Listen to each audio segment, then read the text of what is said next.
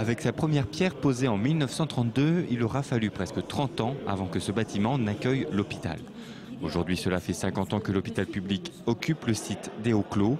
Une exposition célèbre cet anniversaire. Cette exposition retrace les grandes étapes, avec notamment dans les années 80 euh, la construction euh, du bâtiment mère-enfant, dans les années 2000 le nouveau euh, plateau technique et les nouvelles urgences, en 2012 le démarrage des travaux du nouveau bâtiment. Ça a été le premier SAMU de France.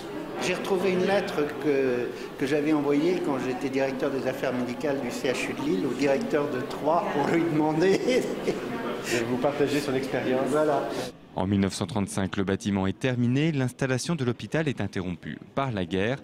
L'enceinte autour du site est propice pour en faire une prison. Quand j'étais gamin, c'est sûr qu'on venait jouer dedans, il y avait tous les, carreaux qui étaient cassés, euh, on venait se faire des courses-poursuites dans, le bâtiment de l'hôpital que ma mère dit avoir entendu les prisonniers allemands, puis euh, français, les réfugiés espagnols en 1936.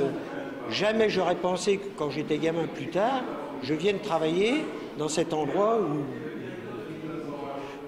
j'ai joué avec les, enfants du quartier euh, à l'époque.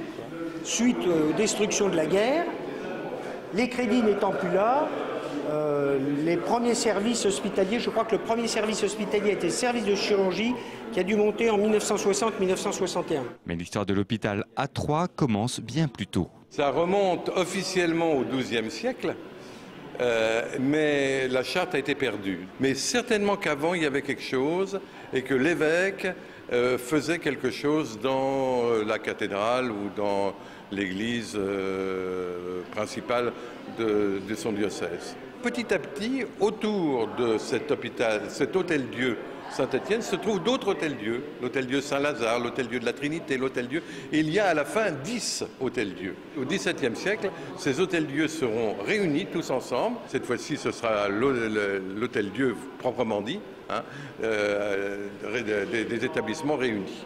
On retrouve le témoignage du directeur de l'hôpital durant la guerre. Cette exposition retrace également les évolutions médicales. Elle est à découvrir jusqu'au 11 décembre.